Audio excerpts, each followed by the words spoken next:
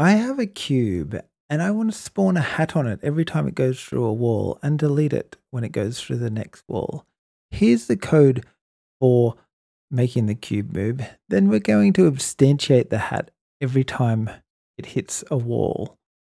So we need to get a hat and make it into a prefab. That will then be the one that we instantiate.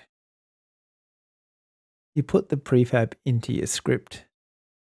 And then as it goes through the wall, the hat will spawn just at the start. And that's because we haven't told the hat where to actually spawn. So to do that, we're going to instantiate the game object to our hat object. And then we're going to set the hat object to the parent, our green cube. So we hit play, we go through the wall and get a heap of hats. And that's because we had the box collider on the hat. So it was accessing our script. Then we added the transform bot dot position of the cube to our hat.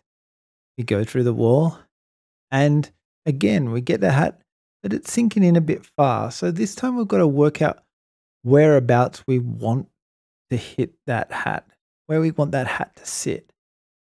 And you can see if it's just in the hierarchy somewhere, it's going to be a different position than if it's a child of the cube.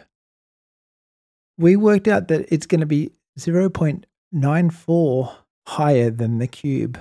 We went back to our script and we changed it to a new vector 3 and we used our transform position dot x. We did the same with our y, but we added in here our plus 0.94 f or float and added our transform position Z as well. Now when we hit play and we go, we get a hat, but there's a problem.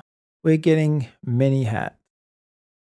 So we decided that we needed to do a few other things. We're going to have a bool which says if we've got a hat or not, and that will stop us spawning multiple hats.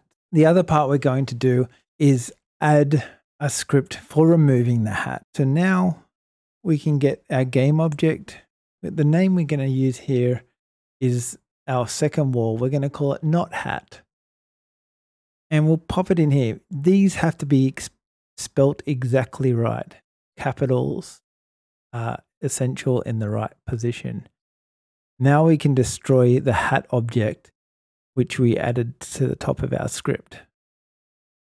The bang hat, no hat. Please subscribe.